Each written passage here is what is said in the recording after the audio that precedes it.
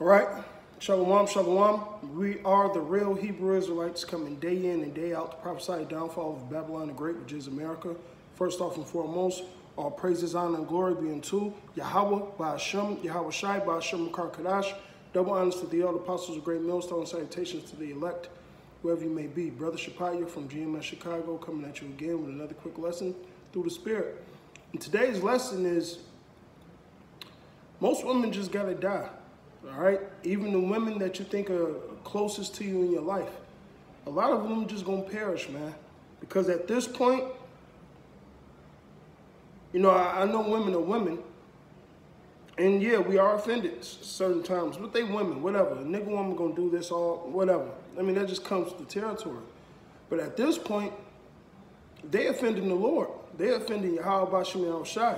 And whatever they did in their lifetimes, if they selected to be a two-third, that's simply what it's going to be, man. All right? There's nothing, us as men, there's nothing us, there's nothing that we could do as prophets, all right? If the Lord has uh, recommend, uh, the Lord reckoned that that person is going to perish, that woman, you know? All right? And certain women in my life, I just believe the Lord is just going to slaughter just because they offended him through me, you know? This is, uh, because now the scriptures does say the Lord should save you and your whole household, but that two-third ain't part of the household of uh, the Israeli Yahweh. Regardless if they're a part of your household or not, mm, they just got to die. Simply put, I believe that about my wife. I love her to death. But it is what it is, man. You know? Because I know what the Lord tells me through the Spirit. You know, I love her. We're still together. We're still rocking. But at this point, she offended the Lord. Micah 7, I'm starting with verse 8. Rejoice not against me, O my enemy. When I fall, I shall rise. When I sit in darkness, Yahweh should be light unto me. So, you know, a bitch will be, hey, they'll talk shit when you when you, you when you at your low point, man. Job's wife is an example, man. All right? They'll talk shit to you at your low point. But when you're in your prosperity, they ain't got shit to say. But even when you are in your prosperity, it's the nigga woman, man. All right? And Paul gave us the best advice, man. Mm, it's better not to marry. I truly believe that, man. Wholeheartedly. But I'm glad the Lord gave me my experience with, with, uh, with uh, women right, and giving me wisdom on women and, and certain things of that topic. Because that's how you get wisdom. You have to experience certain things. So I had to go through certain things myself to understand what Paul was talking about, to understand what the elders was talking about when it came to these women. All right? Because now the spirit on me now is, I don't give a fuck how pretty you is, how ugly you is. Get the fuck away from me, man. That's just where I'm at with women nowadays, man. They're a fucking vexation. All right? Now it says, I will bear the indignation of Yahweh because I have sinned against him until he plead my cause. So we, hey, we, we go through our fucked up situations. We, we have our ups and downs. And we under the curses. Why? Because we sinned against Yahweh Bashem Shai. So whatever we're going through is well deserved. All right? I have sinned against him until he plead my cause and execute judgment for me, who will bring me forth to the light and I should behold his righteousness. Because guess what? When a lot of people start to see those men that's more precious than the gold of Ophir, all right, then they're going, oh shit, we fucked up. It's going to be too late then, man. Now I'm going to tell y'all something deep. When I was with my first wife, I've been woke, well, I've been, I'm about 10 years in, in truth now. When I first woke up, I had a dark-skinned wife who was rocking whatever for a couple of years. And the wife I'm with now, She's my second wife. You know, I was dealing with them both at the same time, but now I'm just dealing with the one, the latter wife. But before I ever knew the latter wife, years before I met this woman, I had a dream that I was married to a light-skinned woman, and I had two children, two girls. Ironically, that's exactly what I have with this woman. And long story sh short, in this vision, we was walking, now if any brothers from Chicago, we know 94, the Dan Ryan. I'm walking up the E-way because everything's in chaos. And you know, we trying to get cover and, and, things of that nature. You know, I mean, it's It looks like World War Three. It looks like Baghdad. That's how the that's how the shit look. So I'm telling my wife, "Hey, follow me, follow me." Yeah, I think she was back there scoffing. You know, I got my kids. I turn around and tell her to follow me one more time. She didn't. A chariot came out of nowhere and zapped her ass, and she turned to fucking dust. I kept my kids and I kept on going. And by the end of the dream, I had a white suit on, man. Me and a couple of other brothers had white tuxedos, white suits, whatever. You know? And ironically, years later, I'm with this woman. And in my heart, I truly believe the Lord is just gonna smoke her. No matter if I ask him to take it away, this or that, I, I really believe she's a two-third. But that's her problem. that's her problem. You know? Now she's trying to humble down, but hey, who knows? You know, who knows? That's just what I believe. The Lord can do whatever he want to do. He can save her. He can do whatever, you know? It's like you gotta sneeze. nah. Rocky. All right. Verse 10. Then she that is my enemy shall see it, and shame shall cover her with said to me, Where's Yahweh thy power? My eyes shall behold her, then shall she be trodden down as mire of the streets, as a piece of shit, man. That's what's going to happen uh, to a, a lot of you women. Mass majority of you women, especially you women that have offended Yahweh by Hashem Yahushua and his men. All right? That, that's exactly what's going to happen to you guys, man. Hey, my first wife used to curse the Lord, man. Straight up. Lord cursed her ass with uh, uh, an infe- a blood infection. All right. Now, me and her been broken up for about four, five years. I'm with my new wife. But a, a year and a half ago, this bitch face swelled up. I mean, looked like a goddamn potato. She had infections in her sinuses. And the infection was so bad that it got into her blood. And now she just have a blood infection. It's the Lord. It's, hey, it's a fearful thing to fall into the hands of the Lord, man. All right? Now, let me give you some more examples. Uh, this is Genesis. 19, I'm starting 24. And Yahweh rained upon Sodom and Gomorrah brimstone and fire from Yahweh out of heaven. Now, it's crazy. This is how it was in my dream. It was just chariots zapping everything, man. All right? And he overthrew those cities and all, and all the plains and all the inhabitants of the city that uh, and that which grew up upon the ground, grew upon the ground, so like it. But his wife looked back from behind him, and she became a pillar of salt. Now, did Lot turn around or, oh, wait, no. She turned around, Laura jacked up, he kept on moving. And that's the thing. Fuck these women, keep on moving. Just like that song. Fuck, fuck chasing that bitch. Win, win, win, win. All right? Because these women are atta- uh, attached to the world, man. They're worldly, man. They have no idea what wisdom is. They have no idea what spirituality is. They don't have no idea what being spiritual is. Their logic is bullshit. So on and so forth. They're just clamorous, man. So they're very worldly, man. All right? Matter of fact, this is Job 2 and 9.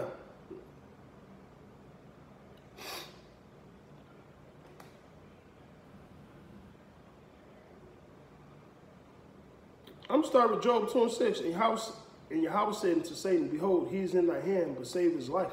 So the Lord told Satan, You can jack Job up, just don't kill him. So when, so went Satan forth from the presence of Yahweh and smote Job with sore boils from the sole of his foot to his crown. Which, hey, if anybody know about having a rash or anything, that shit is irritating. Irritating. One one year I had fucking think I had heat rash. I had little no blistering rash. I had little bumps all over my skin, and when they popped, that shit, that shit felt like fire. The only thing that felt good was a scalding hot shower because it felt like it was scratching my, my back and my body. That was it. And I hate steaming hot showers. And shit burn, you know? But that was the only thing that soothed me. And you know, of course, Esau gave me some medicine and shit like that. But having that, that's that's highly irritable, man. To the point that this man had to take a pot potsherd and start scratching. But let, us read. Verse 8, he took a pot potsherd and scraped himself with all and he sat down among the ashes. You know, you know, sitting amongst the, the dust, that's a humbling experience, man. All right? Um, verse 9. Then said his wife unto him, Do thou still retain thy integrity? Curse God and die. But he said to her, Thou speakest as one of the foolish women speaketh. Right, she was supposed to be a wise woman, but that shows you Women that know they got a prophet of the Lord, know he in the truth, and they claim they believe in what he believe in, still are some of the biggest demons, man. I don't trust a woman as far as she, I see it. I don't even trust my daughters. they four, and the other one is one. Mm, no, don't trust them. They women. They're uh, they're easily controlled by demons and easily controlled uh, by this world. All right. Now through the Spirit, I have some amazing daughters. You know. Um, what should we receive? I mean, what? Should we receive good at the hand of Yahweh and not receive evil? And all this, Job, I mean, and all this did not Job sin with his lips. So he didn't talk shit. Obviously, the Lord is jacking me up for a reason. And the Lord blessed us. Of course, we're going to get cursed too. We're going to receive both. The Lord does both, man. This bitch done seen all the things the Lord did for Job and still scoff. That should show you the integrity of a woman. They have none. Okay? Uh, let me get this. Let me get this.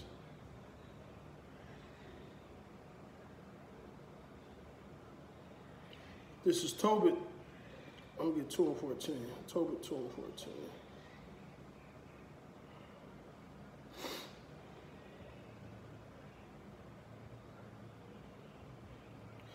I'm starting with 11. And when my wife Anna did take woman's work to do, and when she had sent them home to the owners, they paid her wages and gave her also, besides a kid. And when, he, and when it was in my house and began to cry, I said unto her, From whence is this kid? Is it not stolen? Render it to the uh, owners. For it is not lawful to eat anything that is stolen. But she replied unto me, It was given for a gift more than wages. Howbeit, I did not believe her, but bade her, bade her to render it unto the owners. And I was abased at her. But she replied unto me, Where are thy alms and thy righteous deeds? Behold, thou and all thy works are known. So, hey, she was scoffing Tobit, man. All right? I showed you the spirit of Tobit, right? Now she said, you know, she was paid a goat, but just the state of women, you just don't trust them, man. Hey, who was that? Was that Rebecca? When they were supposed to get rid of all the idols, what did she do? She sat on it under a pillow and lied and said, you know, she was on her period. Just, women are like that, man. Sarah laughed and giggled. All right, hey, things of that nature, man. These are women that we're dealing with, man. So don't be surprised if a woman you hold dear to your heart is just marked for death. That's just what it is. A Lot was a prophet. See what happened to his wife. Job was a prophet. His wife was scoffing. Micah said what he said, she that is my enemy. So just be prepared for that, brothers. I pray that the Lord make you strong enough. Oh, let me get to Ezekiel. I ain't going to end it yet. Let me get this Ezekiel, I believe it's the 24th chapter.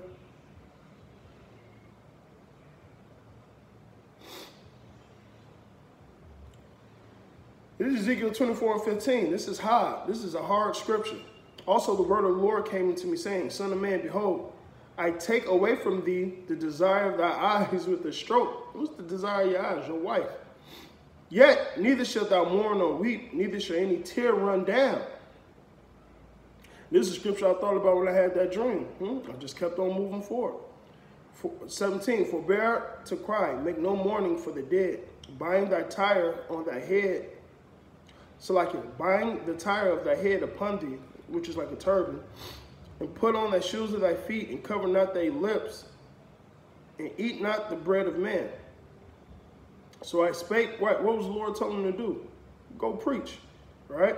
So I spake unto the people in the morning, and at even my wife died. And I did in the morning as I was commanded. And the people said unto me, Wilt thou not tell us what these things are to us, that thou doest so? It says, Then I answered them, The word of Yahweh came unto me, saying, uh, Hey, I'm just finished up. Speaking to the house of Israel, thus saith Yahweh thy power, Behold, I will profane my sanctuary, thy excellence of thy of your strength and the desire of your eyes, and that which your soul pitieth, and your sons and your daughters whom ye have left shall fall by the sword. And ye should do as I have done. Ye should not cover your lips, nor eat the bread of men. It, was it was all symbolic, uh, symbolic. All right, what happened to Elijah? What was about to happen to the nation of Israel? I mean uh, Ezekiel.